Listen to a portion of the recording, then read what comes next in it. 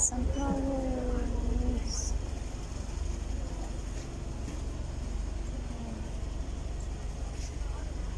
Fresh sunflowers.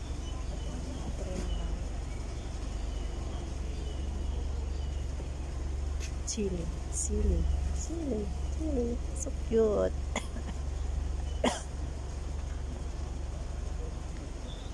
diba?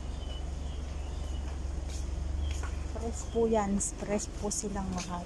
Yan. If you want to buy some flowers for your vase, flower vase, you put at home. That is such a beautiful. Ito naman is um, ano ba yun? Anong tawag dito? Ewan. Kalimutan ko. Mental block.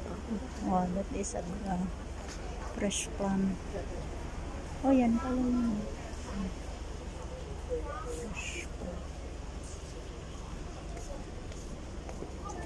Oh, yung gaganda ng mga, ng mga bulaklak. Hmm. Oh, sunflowers.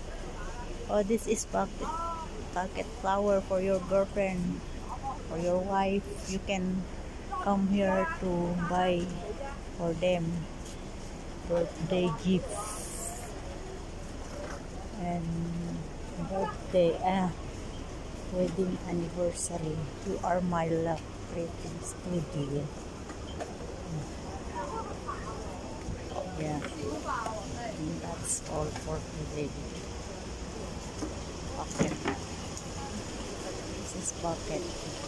Bucket flowers.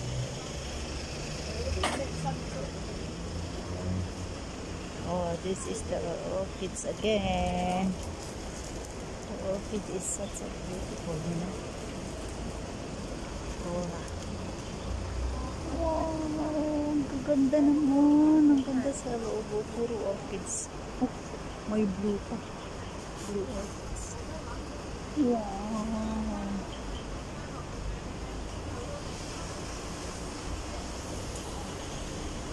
Ano ba yung bibiling ko dito? Nakalimutan ko tuloy. Ah, oh, flower vase.